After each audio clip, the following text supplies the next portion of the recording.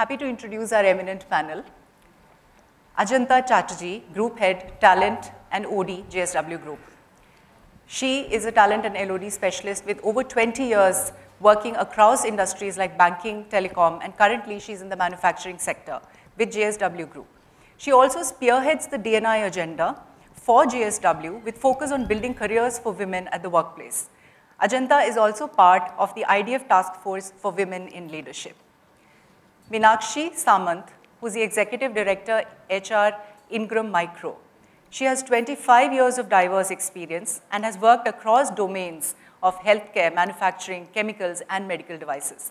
She currently leads the SAARC region for Ingram Micro as the Executive Director HR, and she's also a member of the IDF Task Force on the DNI Toolkit. Pallavi Waman, Senior Director Engineering, Duck Creek Technologies. Pallavi has diverse experience over 19 years in the P&C insurance industry and capability development across US, UK, and the Asia Pacific. She's currently the engineering lead for Duck Creek Technologies and our only technocrat on this panel.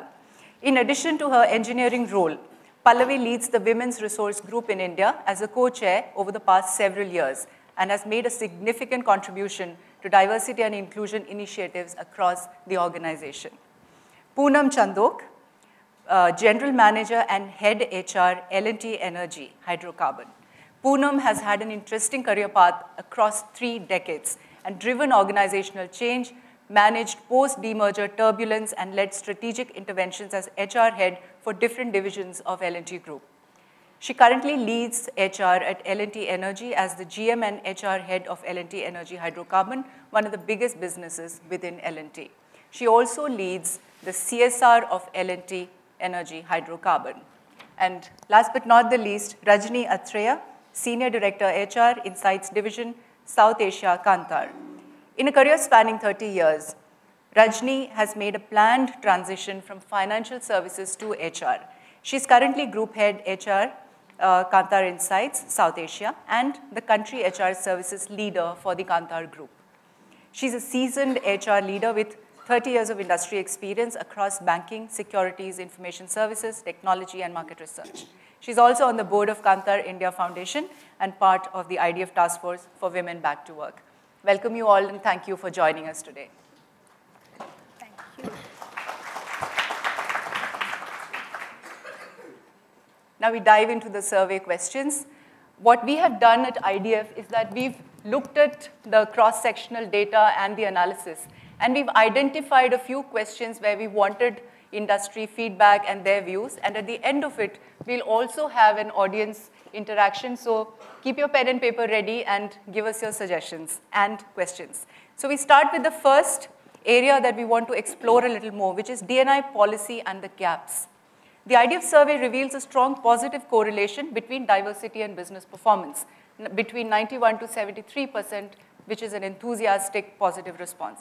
However, less than half of the companies surveyed, which is only 41%, have a comprehensive DNI uh, strategy and policy today on the ground.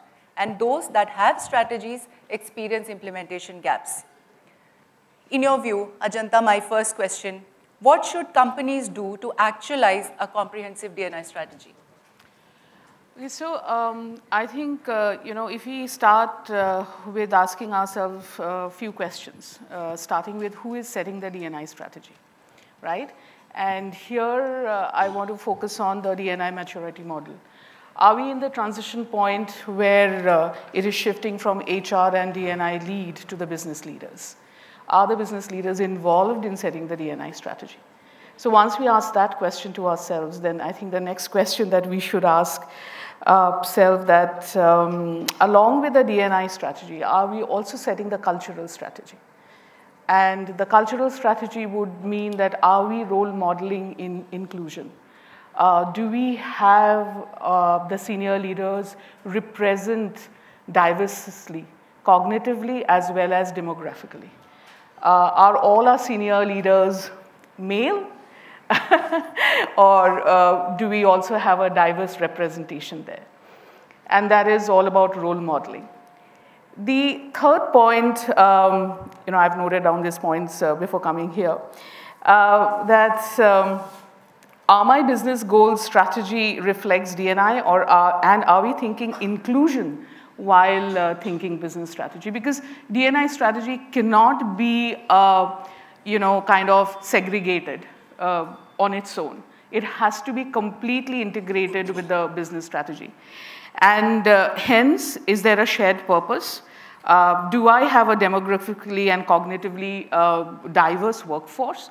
If I put it back into manu manufacturing, the answer is no. Most of us struggle with a 5 to 6% of women employees, and I'm only talking about women employees at this point of time. And um, does the external brand uh, match the internal one? And it is not about one day Women's Day branding. Are we moving beyond that? And the fourth one, if we have an employee value proposition, is it set on the, are they set on the pillars of diversity? And then hence the few questions that we need to ask is structure, policy, processes, and systems. So four things if you keep in mind, and the first key one is who is setting the diversity strategy for us.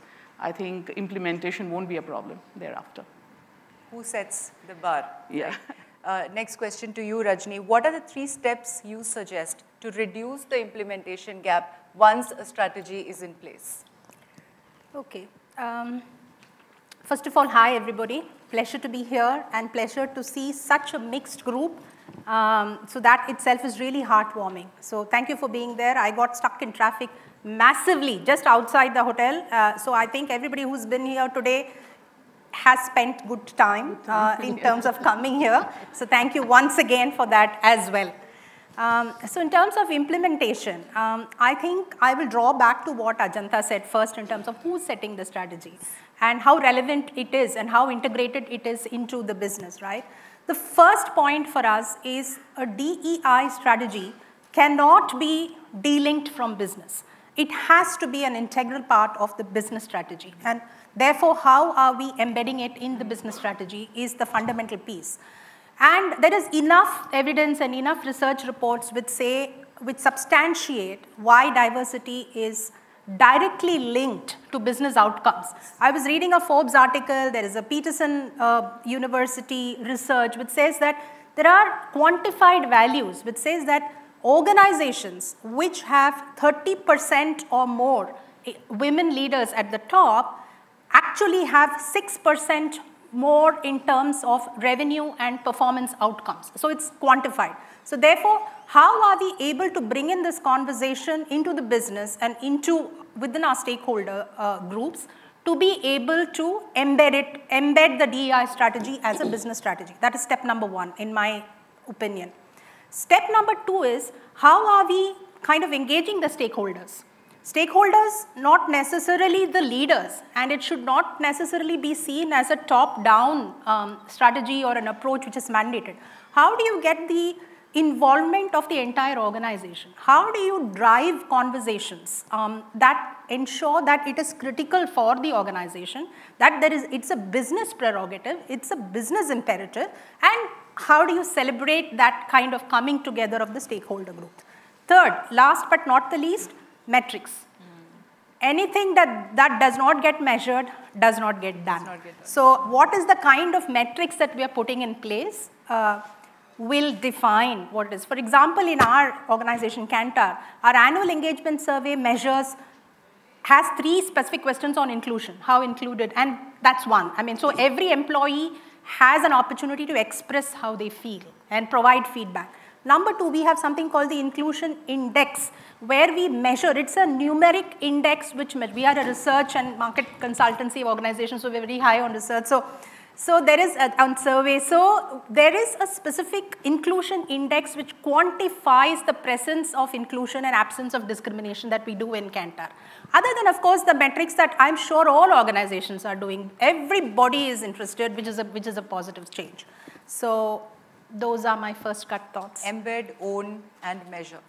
Now we come to the next uh, big segment that we identified which is talent retention. The DNI survey feedback from members and IDF research shows that hiring talent may be the comparatively easier part of the DNI strategy, though it is not easy by any measure, which I am sure I, see a lot of nodding heads. But the real challenge occurs when the rubber hits the road, when there is a sense of belonging and support for the diversity hires to progress along my meaningful career paths. Question to you, Poonam. How do you attract and nurture diverse talent to retain them and give space to develop a meaningful career path? So for L&T, uh, uh, I really resonate with everything that you said. It was like the checklist. I was taking the uh, uh, boxes of how we went about doing it in L&T. Uh, what we first did it is everybody was willing, but nobody knew how.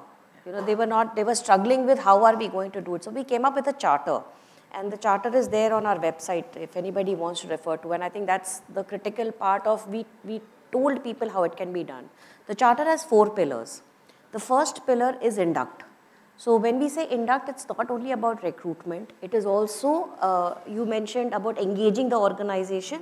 So what we do is we are constantly pushing our managers to tell us new roles where they would like to take women, you know. So they give us the roles, we do the recruitment process, we give it to them. So the ownership of making those women succeed is theirs. So we keep multiplying the number of roles where women are getting tried. Uh, then of course we have, uh, you know, uh, we, we do these women drives and we have so many things around the pillar of induct. So we are, we are telling the HR heads of various uh, businesses saying that think of how you're going to induct and, uh, you know, apply your strategies, give your numbers, give your targets and measure yourself. The second and most important thing is engage. How do you keep them engaged in an organization? And here it is where sensitivity becomes a very big part of it. So we are doing massive workshops on sensitivity. And we went about it, uh, I don't know differently or not, but uh, what we did is we, we had, so we have four pillars for, uh, we have four uh, thrust areas for diversity. It's gender, generation, uh, people with disabilities, and now cultural integration that has just been added. Okay, because we are have, going to have massive presence in uh, some of the uh, countries outside India. So it's about cultural integration because from being 5% of uh, local people over there, we have to move to 95%. So four, uh, four things that we need to focus on. So what we said is, we went and spoke to people of these groups and said that what are the challenges you face in inclusion? And around those challenges, we made uh, case studies and we used theater methodology. Uh, half day sessions based on theater methodology where we gave half of the case study told the group to enact it without speaking and complete the story. And that, and then we would discuss that concept of uh, what is gender, uh, uh, gender, what is generation, and you know things like that. So I think that was a very powerful way of uh, uh making people sensitive uh, one of the tools that we use amongst various others. And then of course, a whole lot of things on building sensitivity within the system based on exit analysis, based on interactions, based on surveys, all that we have done. The third pillar we have worked on is develop. Now we have a very robust learning and development agenda for L&T. You know, L&T is also called sometimes as learning and training. Uh, so uh, we said that if we are going to take a set of women and, and uh, train them, we don't want them not to be eligible for other leadership development programs. So we said let's look at the demo, let's look at the age demographics. Uh, people who are in the age of say 22 to around 32 have different set of challenges as women people who are in the age of say 30 to 40 have a different set of challenges as women. So we build up a leadership development program on how you build in the steel within you to handle those challenges which were very, which had nothing to do with just pure leadership development program. So they were always eligible for that. But this specific program was very relevant to the gender and the issues you face. So in the first stage, you will face, uh, you know, you get married, you move cities, you have, you have those initial challenges of, you know, where is my career going and things like that. The second stage is more about uh, balancing, balancing your family, having the pressure of, you know, I can't handle it all and how do I go about doing it. Every time I try to do something, kuch chut jata hai, you know. That kind of mind space uh, the ladies in their 30s were. So, so specific targeted programs and then of course for the younger, uh, younger lot of people, uh, for the supervisory, you know, two to three years experience people, we have something else. So very targeted programs in terms of uh, enabling them. And the fourth is what we, uh, what we call as, uh, no sorry, it is develop, that was uh, develop and enable is what we can do as policies what are the policy shifts that we need to do and along with the management every year, once in a year, we sit with them and say, what are the policy changes we are going to do to make this uh, set of people feel more included into the organization and uh, to basically handle the, the critical point that you said, you know, it's very easy to recruit actually. It's very difficult to keep them. And so, you know, so policies are required. So it's induct, engage, develop, and uh, enable. That's the framework that we have used. Wonderful. A lot of data-led interventions. The devil is in the detail, as they say. Uh, Poonam, question to you. How do you attract, oh, sorry, I'm sorry, Minakshi, we've already had. A second issue highlighted by this survey is the importance of building awareness about DNI for a culture of inclusiveness and ownership to make a real difference on the ground. This is also experienced as a big reality gap that may be addressed to take workplaces to a higher trajectory. How do you get cooperation and allyship from the so-called mainstream employees? For me? Okay. Okay, so um, I have been hearing, uh, you know, different views, and there are a lot of things happening in many organizations. Uh, for me, uh, when we see DNI as a topic, uh, and I think I'm going to talk uh, pretty contrast, and that's a diversity here sitting. Okay, I'm not going to say that we need to have a strategy or we need to do this. I would say, why do we need a strategy for something as fundamental as being human? Why do we need a strategy? Why do we need scorecard? Why do we need policies? What we do in Ingram Micro is, or rather I believe, I mean, all the women who has made it to the boardroom or who has made it to any field, they have all gone through all the challenges. 25 years ago, 20 years ago, we did not even talk about DNI. They had managed their kids, they have managed their family, they have managed their emotion, everything, right? Challenges were same, nothing different. So I believe that if you try to do things right at the fundamental level, where these discussions only should not happen. If a candidate, whether she's a man or, I mean, whether the candidate is a man or a woman or a transgender or anybody, if he deserves, he or she deserves, has all the, you know, required capability, willingness, whatever is needed for the job, just give it. If it is a man, it's a man, it's a woman, it's a woman. I don't think I would be compromising just to tick on my DNI score whether I have 30 women, so we are going to perform. I would rather say I have 30 competent women, so we are performing. So just by having a gender diversity, that doesn't mean you are going to have a very different uh, performance level. Are we then not doing injustice with the men? What is the happening with the 70% men? They are also equally contributing. It's not just because of the women. So my point here is DNI means be it a woman or a man, the diversity of the thoughts, the education, the personalities, the way they dress themselves, anything and everything is a diversity. And if you are capable to do a job, irrespective of whichever degree you have or a qualification or whichever university, it should not matter. You bring that value to us, so we have hired you, so we are performing. Not because you are a woman, we are performing. That's how I see it. So I think we fundamentally work. So I'll give you a very classic example where this whole thing triggered. Policies are there, processes are there, the leadership is talking about in every town hall, we need to do this, we need to do that, DNI, blah, blah, blah. But in spite of all that, if a large organization, if there is one hiring manager who is a man, who is interviewing a set of candidates, and there are two top finalists where there is a man and a woman, and actually with all credentials, if the woman deserves a job, she should be given the job, not because she is a woman. And this man felt she is in an age where she's already recently married, she might get uh, babies, and then he's choosing a man over a woman. That's a problem for us. That's where diversity is not happening. The policies are there. Everybody knows what we are supposed to do.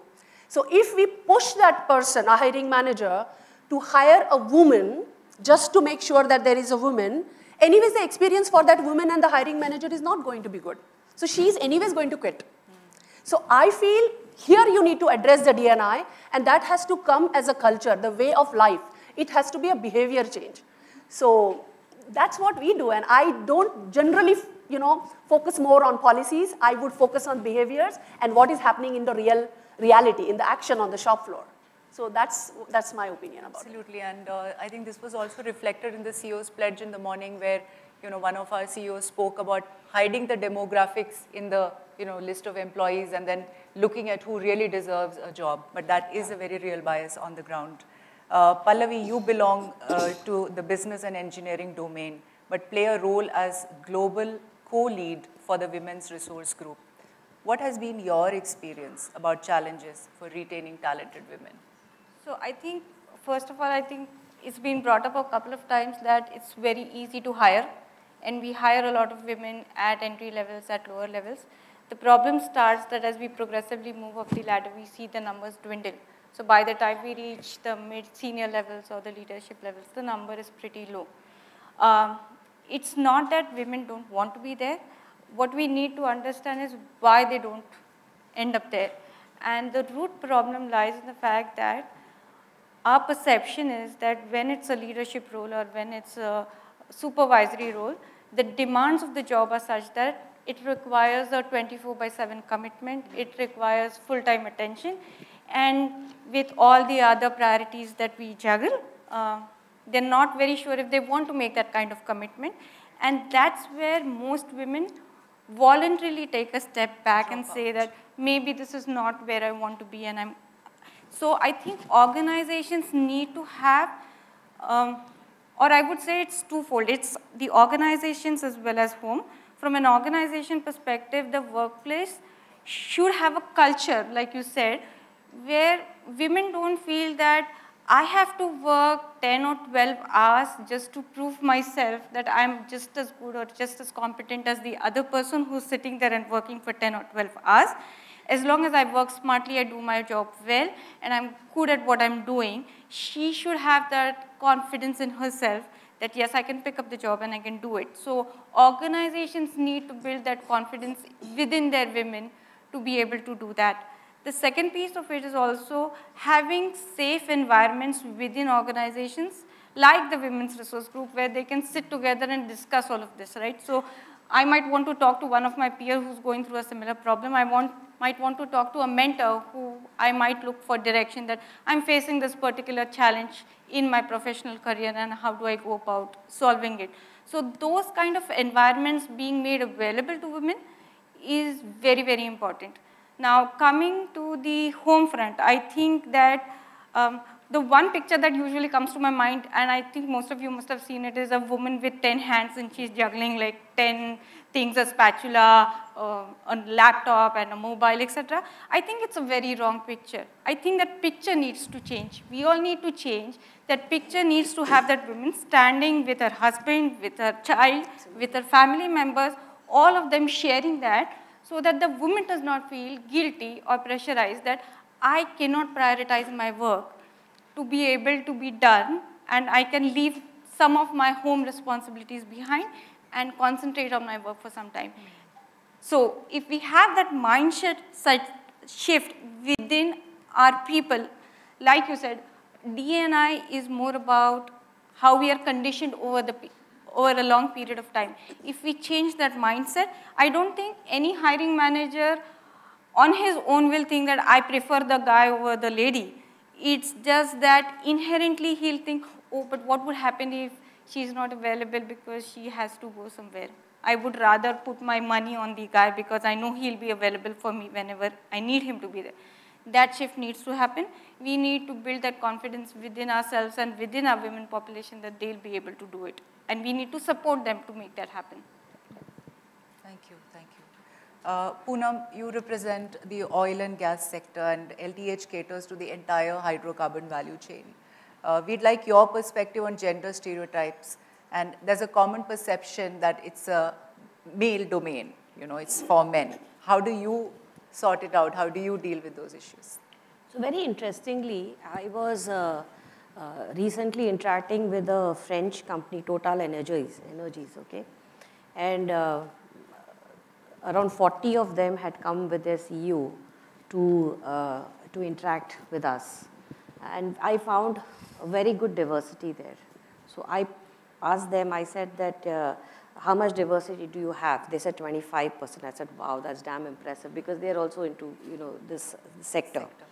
Um, so I said, how many years did it take you to reach there? They said, uh, we've still not reached there and we've been in this since early 1990s. And then I said, what are the challenges that you're facing? They said exactly the same set of challenges that we are facing. You know, it was pretty uh, interesting to know they still have the challenges of while hiring a woman, will she get married? Will she have a child? Will she leave the job? Will she ask for flexi time? Will she not be available because she has a child's vaccination? Then we deal with the mindsets of, uh, uh, you know, men uh, still having a perception even if he's not bothered about these things, a genuine perception that a man can do this job better than the woman. And, and, and the, the usual, you know, all of that, which what we are also facing. Mm. So uh, I said, okay, how did you deal with it then? They said, you know what, we tried all these socialistic measures of, you know, trying to encourage and trying to do this and things like that. 10 years we tried it, we didn't reach much. In, uh, uh, we didn't make much success. So somewhere in uh, uh, early uh, 2000s, you know, 2003, 2004, uh, around that time, that's what they, they narrated to me, they finally put a KVD for everybody, key value driver. You have to have 10% women. He said that was the only way to drive it. Mm. Now, we are uh, two, three years into the journey.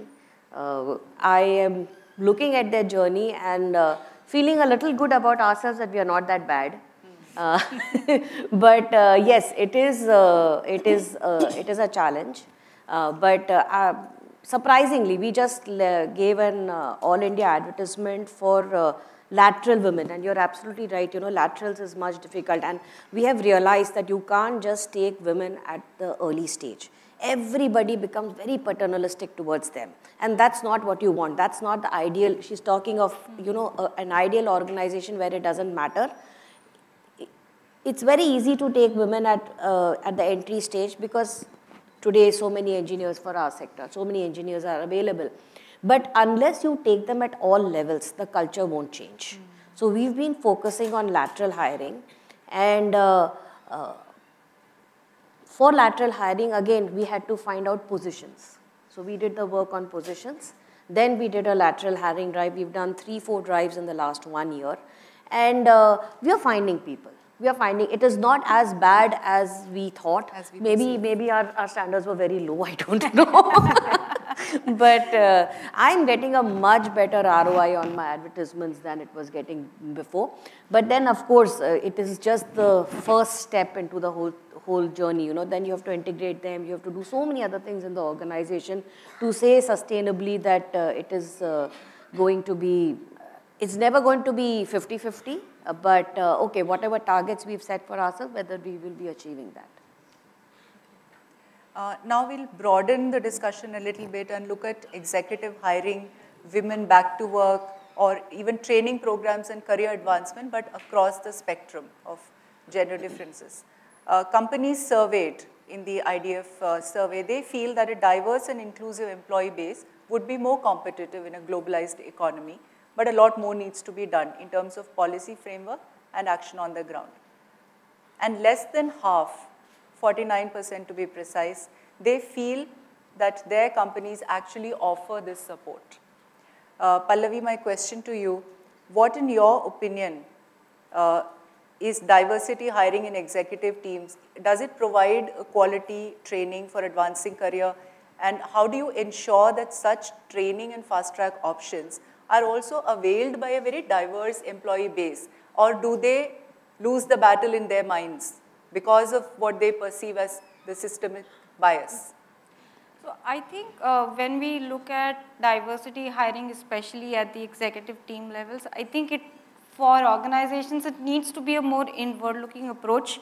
I think spotting the talent, nurturing, growing it within the organization will yield uh, much better results than uh, having a completely uh, hiring strategy which focuses on getting that ready-made uh, kind of available talent from outside, we need to invest within the organization. It helps us in a lot of ways. First being obviously that uh, we are very intentional in finding the right set of diverse people that we want to have as part of our leadership team, obviously. The second is that because we, we know the people, uh, there is the less chance that we, we end up with a wrong fitment because these roles are pretty critical from an organization standpoint. Third and more importantly, for the employee on the ground, it gives a very good picture to him that what is my growth path in this organization, how will I grow, where will my career land. And it's a big, big win for the organization in that. And I think the last and the most important thing which we need to endorse in this is that we then follow the path of reward and recognition. And it will help us find the right people within the company to be staffed in these positions. And secondly, coming to your question about trainings and uh, the fast track options, uh, I think somebody mentioned here, right, that we have trainings, but they are very generic trainings and then we kind of tailor them because we think that, oh, uh, I need to make a bit of change because I have a set of women who need to be kind of uh, catered to a bit differently. I think uh, that's the, the right thing to do because uh, there is a difference between equality and equity. Yes. The equity piece in, in the diversion and inclusion plays a very, very important role. So not everybody begins at the same point, right? Everybody comes from a different background. They have different challenges. So first we need to bridge the gap and then we can have that common program that we can run across the board, right? So like we just mentioned about women, uh, in IT we have a lot of people, uh, a young crowd, right, who, who's coming from vernacular medium schools, they're not very conversant in English, they're not very self-confident about speaking, but these folks have excellent technical skills how do we groom them to become good leaders? We need to groom them to be more assertive. How do they put their point across? All of these are coaching and leadership items that need to be part of the training program and part of the fast track options that we give. So I think depending upon the right talent that we identify, it is important that companies invest in making sure that they groom the people into the leadership. It will also help in the retention strategy for organizations. Thank you. Uh, Minakshi, what is your view, specifically coming to the training programs?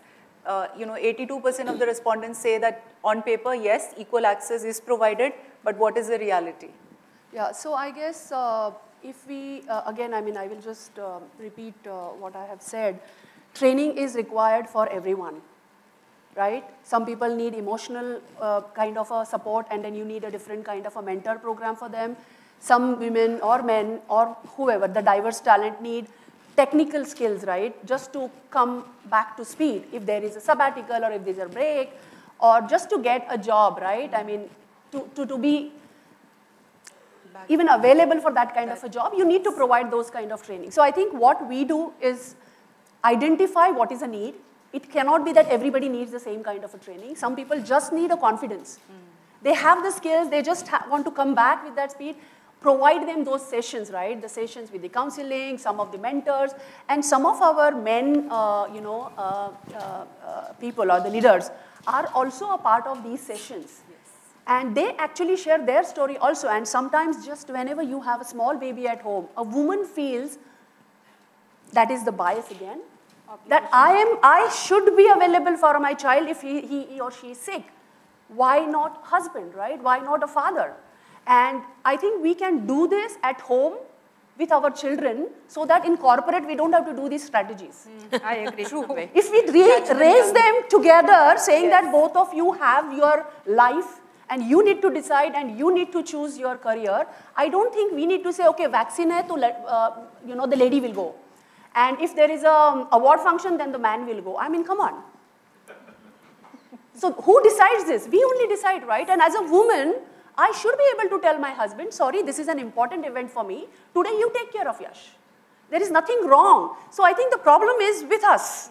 We feel my mother-in-law will be unhappy, the entire society will blame me. What bad mother she is, right? It is our problem, it is not the, so I feel we should start from home, start from school so that in corporate the life is much better, at least for the next generation as a generation, it's our responsibility to make sure that we don't pass on our hidden, our uh, unconscious bias to our children, catch them young. Thank you. Absolutely. Um, now, coming to behavior change, uh, communication and advocacy, Rajani, you had also mentioned it in the beginning. The IDF survey respondents agree on two aspects. First, the value of encouraging curiosity and awareness about issues in DNI. 76% of respondents felt that building conversations around DNI was very important. 18% felt it was important, only 6% were undivided, uh, undecided. Secondly, the majority of them felt that communication campaigns around DNI need to be more focused, issue-based, clear and targeted, with only 34% saying that uh, current communication is adequate. Uh, how do you maintain that momentum? Because the DNI strategy, the policy, everything is in place. What are some of the strategies to develop this ownership and you know break the our own conditioning and bias? What do you do? Right. And uh, I'm going to pick up a few things from uh, some of each one, what each one of you said, because each one was, uh, was delivered with so much passion and with wisdom. It was really wonderful listening to them. Uh, first, I want to pick up on what Minakshi said, and I really loved it with the, the passion with which she said it. Why should corporates be burdened with this whole piece, right? I mean, if society was doing what, or we as individuals are doing what we are supposed to do at homes, then maybe we will reduce the burden in corporates ideal world and yes. hopefully in the next generation. Uh, not the case today, unfortunately.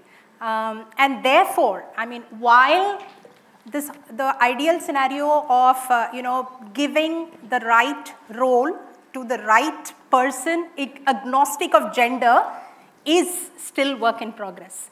Um, I can say as a woman, and all of us in this panel as women, nobody will want to get a job by virtue of the fact that we are women, right? We want to be and, and so is it with a man, with any, so is it with anybody for that matter. Nobody wants to be, sort of, nobody wants that capability to be taken out of the consideration set. Um, but again, work in progress, unconscious biases still persist in the organization, in, in our lives, in society, in terms of expectations on women.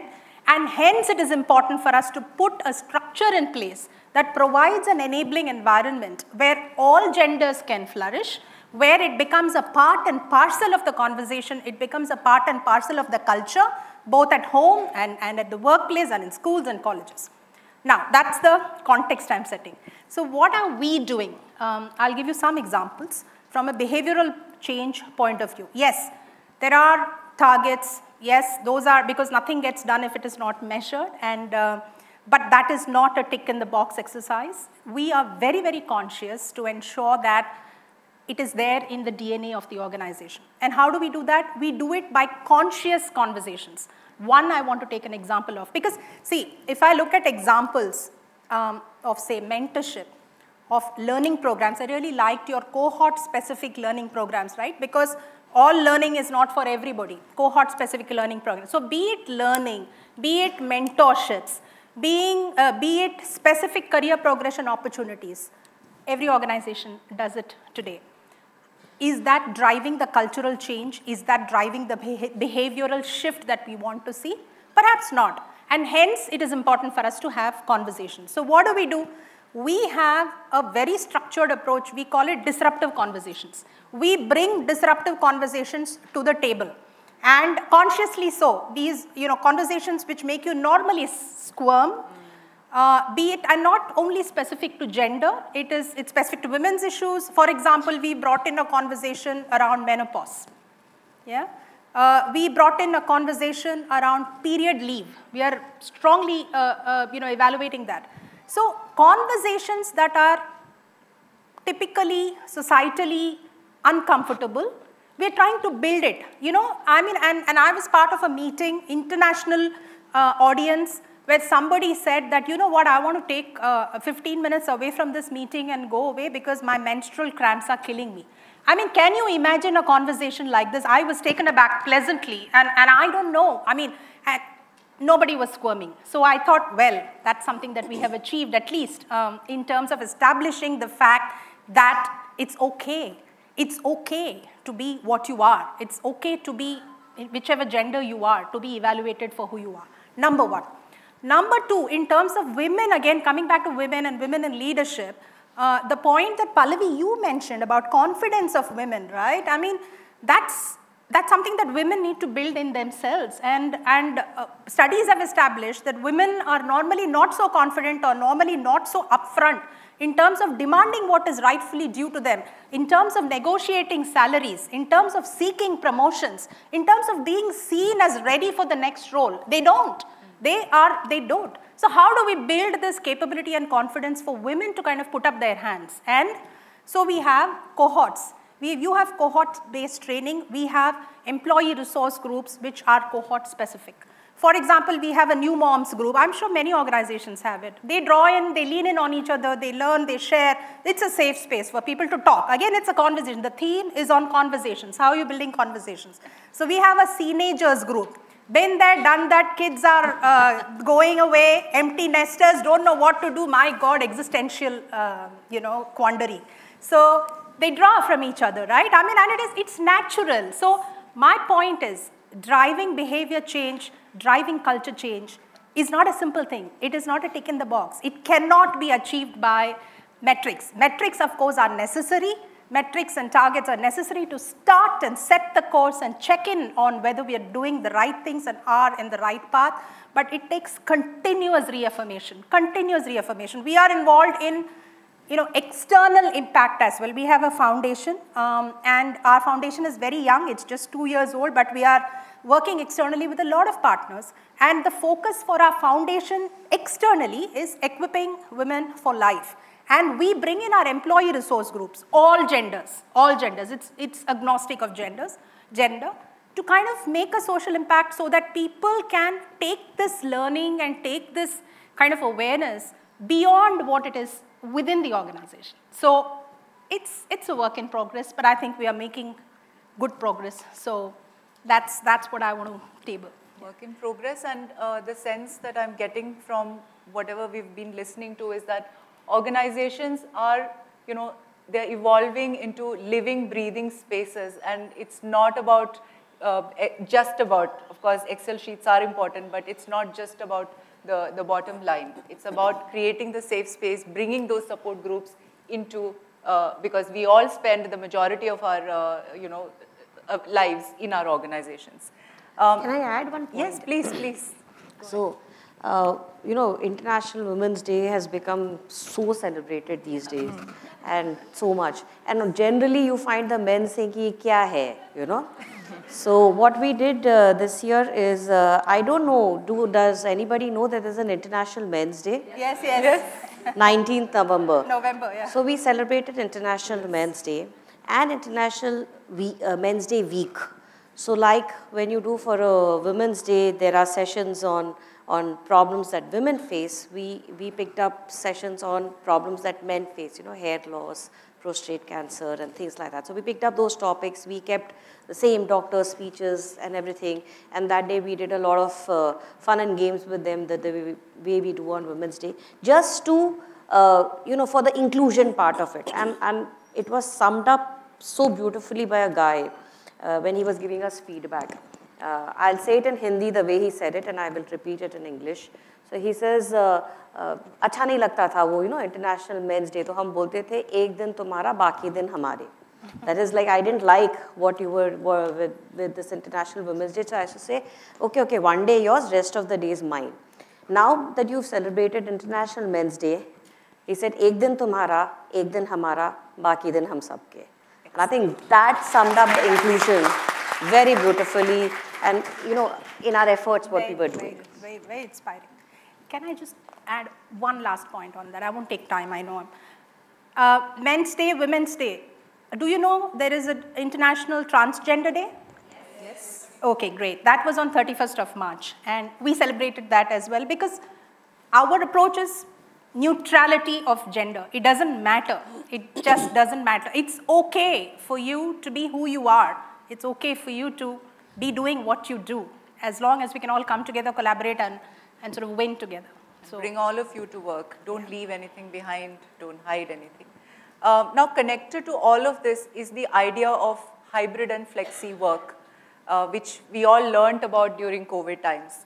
Now, this was one of the segments of our survey and we also, this was also a question, original question in our 2021 survey. Now in 21, respondents had said an emphatic yes to flexi work, hybrid modes, enthusiasm all across the board. Uh, of course, at that time, there was a complaint about the implementation gap and you know, about non-verbal cues going to people who wanted uh, flexi and hybrid work. In 2023, respondents were a lot less sure about the effectiveness of hybrid work. Only 46% agreed that hybrid work does not pose challenges to productivity, cohesion, and discipline. 12% felt that hybrid work is a challenge to productivity, while a large chunk, about 30% were undivided. So the enthusiasm and the per perceived effectiveness of hybrid and flexi work is actually going down if you compare it with the first survey. Um, Ajanta, I'll bring you in here. Uh, what is, what is, and also manufacturing as a sector, what is right. your perception, what has been your journey over, especially over the past three years? Yeah, so um, before I go on to the hybrid work, a little bit on the manufacturing sector and where we are in the DEI journey. It's not a, an easy place. And I kind of say things with a lot of cautious and being very conscious about it. One thing I truly believe that the organizations are a reflection of the society that we live in. Doesn't matter what we individually think. At the end of the day, large part of the employees come from the society from where they are coming. And that is reflection on the household, their education, their upbringing. And hence, with the ESG coming in big today, eh, ESG is all about environment. There is also a social and governance part of it. So we as an organization, if we can also reflect back on the society from where we come in and start the change from there. Because organization in isolation doesn't work. Manufacturing, flip it. We are not in the cities. We are in tier two, tier three towns, where with large factory setup, right? including women there, setting up in the careers where, uh, you know, industry like ours, traditionally, it has been men-driven. And today, while you all may be doing it for the last so many, so many years, I think we are talking about diversity today because the industry has grown multifold with the kind of uh, demography that it had the, the business numbers came in. It is, it is a very, very successful business. So how do you then slowly seep in the idea of diversity to these very successful business leaders who had led business in a certain way and then seen success, right? So it's a very different kind of story for us. Now coming to hybrid work. How many of you all have worked on factory shop floors in this? Right. Does work from home work? No. So that is the point. It is the kind of work that you are in. And I think everything starts from there. If you're at a factory shop floor, hybrid work doesn't work. Work from home doesn't work. You have to come to your uh, factory every day to get the work done. So work from home goes away. Then it comes the flexible work. Again, 95% of JSW group workforce uh, is at the factories and at our plants. Then there's a shift everybody has to come at a designated shift because if you're not doing that, then the machines won't run. And once you leave, then the next person comes in. So flexibility of work on what we think sitting in Bombay or in corporate office doesn't work. That's the reality for any industry or factory workers or plant workers. So how do we ensure that there is a sense of flexibility and hence discretion of the employees to take time off, to come or be a little bit of flexibility in during the shift timings comes in. So for me, hybrid and flexibility of work comes from the nature of work yeah. you are in. If you are in emergency works like the police or hospital, I don't know if they are talking about hybrid or flexibility at this point of time, right? So, uh, so against the nature of work, the nature of service, where you are working, and then the whole thing. And again, uh, since you mentioned pan pandemic, for all of us here who thinks hybrid and flexibility, just think about what was your work situation before pandemic. How did your organization work then? And if your organization worked in a certain way, trust me, it will go back to those days. Yeah, because that was a steady state, and that's the way the organization had seen success, right? Pandemic was an aberration.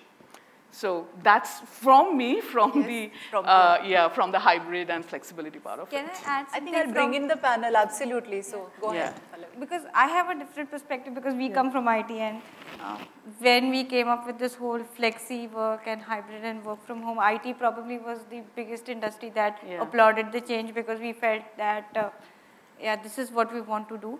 Um, our company, we, we changed to a remote first policy uh, when the pandemic came in and essentially right now also we're still in a remote first policy because we believe that because we've rolled out the policy and we've made it available to folks, we've allowed them to work from whatever location they want to work. So it, it's, it's not mandatory for people to come into office and work. Uh, it's their discretion on whether or not they want to come into office and work. But what we've seen over the past few months post the pandemic is that people like to come together and work. They like working in teams. Interaction, the human interaction piece that was missing during the two-year time frame where everybody was working at home and was working remotely, they actually prefer coming into office at least for a day or so just to be able to see their colleagues, just to be able to have those cooler side conversations. They enjoy that piece of it. They enjoy the camaraderie that comes with it. So I think right now, at least from an IT industry space, we like the hybrid and the flexi work options. Um, we like the remote work, but we still want our offices to still be there for us to be able to come in and do the work that we want to do, especially for women, I think. Uh, I, I feel, uh, I see more women in office now than I saw earlier because I think they like coming into offices more because it provides them with that focus. At home, they are a bit more distracted, if I may say so myself. Uh, when they're working from home, they prefer the work environment that's in offices. So I see more women in offices now. May I add? Yeah. So we are uh, we are doing hybrid. We're working two days out of five, um, and uh, we moved from a scenario where. Uh, uh, work from home was considered taboo. I mean, not because we didn't have it. We had work from home pre uh, pre COVID as well, but uh, managers were not very comfortable because you know it is this whole point of trust is also uh, fundamental uh, when you're working remote, right? So then we moved 100% remote as did most organizations through the pandemic and we're back in a hybrid uh, format. But I agree with what Pallavi said.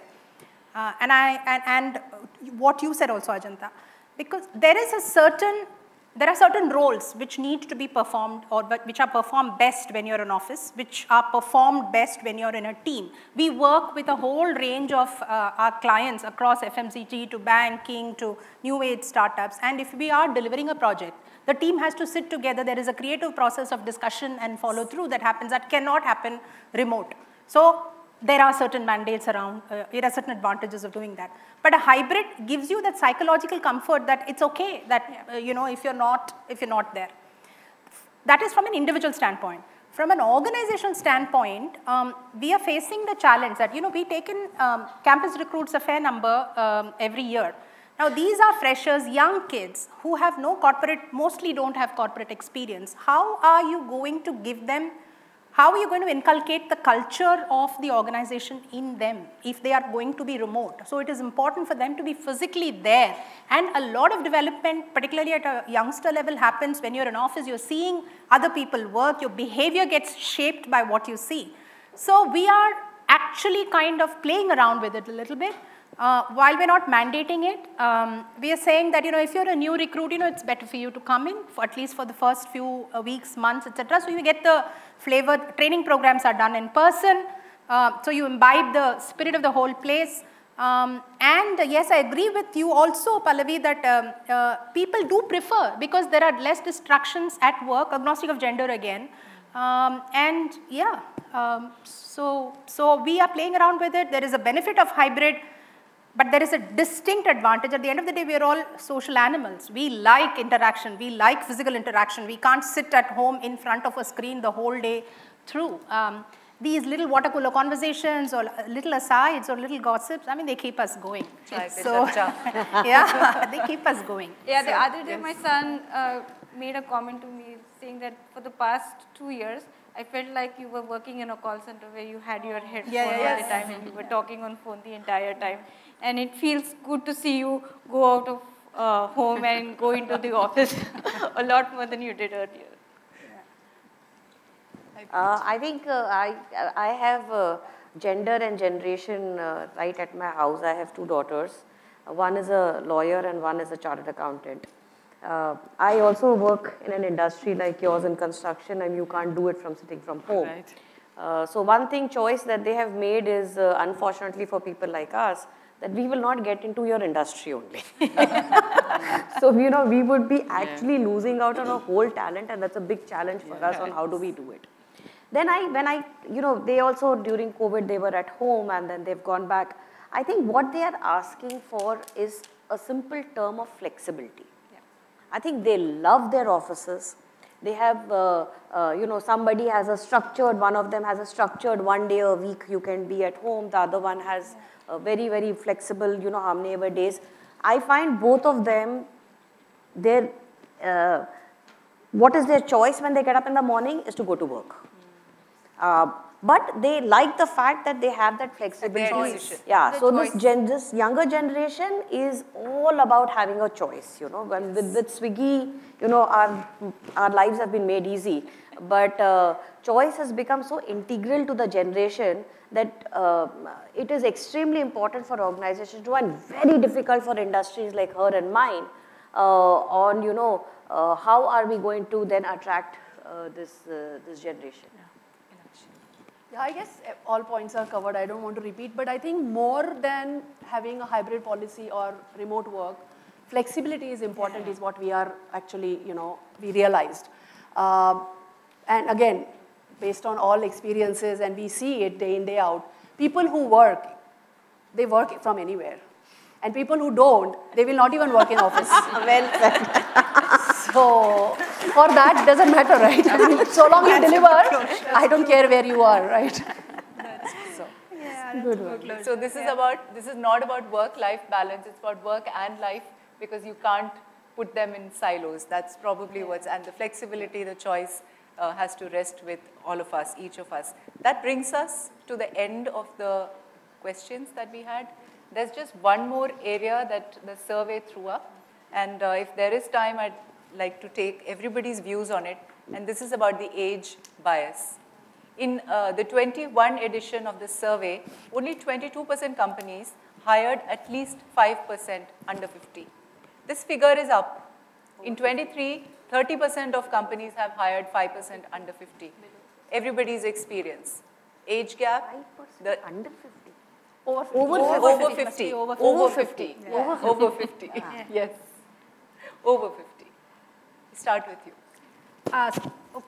So um, we have a specific movement uh, within Kantar uh, on age no bar, um, as with all movements i- i- internally. So we have a, a global employee resource group which is actually working on uh, you know ways of um, removing gender biases in terms of uh, again culture of the organization.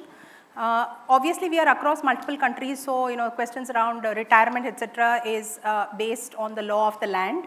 Um, so, but we are very, very uh, conscious about uh, about unconscious biases on age.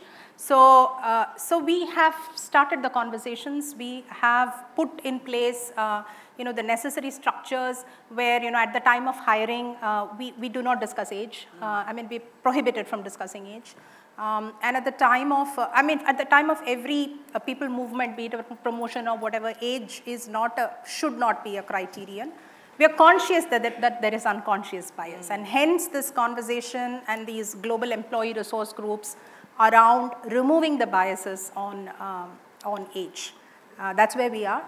The one point I want to place on the table also is that there is also a financial implication to the whole, um this, not that we are doing the financial discussion, but there is a financial implication because when there is a continuity beyond a certain defined age, then there is organizational uh, cost implication in terms of retirals, in terms of coverage, etc., which maybe organizations are factoring in as well.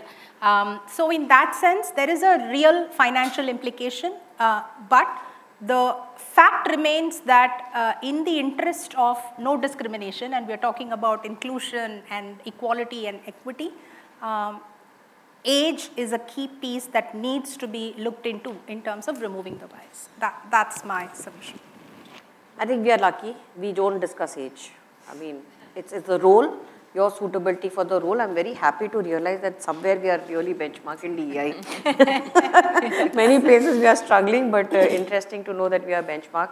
It's, it's just your competence, and that's all that matters in our organization. Um, I agree with you. Uh, for most part, I think for most part, age is never a criteria of discussion when we hire somebody for the role. But of late, I've heard conversations around tables where we say that uh, if we have a person above a certain age, is he going to gel with the rest of the population around them? Will they have the same thought process, the same mindset for them to be able to work with the rest of the people who belong to a certain age group? So I don't think it is intentional about not hiring people above a certain age. Um, but at the same time, uh, like you mentioned, there are implications to having people uh, beyond a certain age a part of the organization. IT organizations, especially in India, are pretty young uh, by those standards. So we generally don't have a lot of problem where we find a lot of population that's uh, close to retirement age, etc., those kind of issues. But I think uh, age is not intentional. As of now, I have not seen it to be that intentional. Uh, it's just a, I think, a statistic that's being true. So for us, I guess uh, age uh, is wisdom. Uh, you bring your age, not really your age, but you bring your energy.